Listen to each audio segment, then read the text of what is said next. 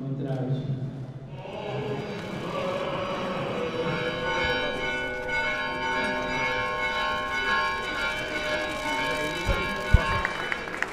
Benedictio Dei omnipotentis, Patris, et Filii, et Spiritus Sancti.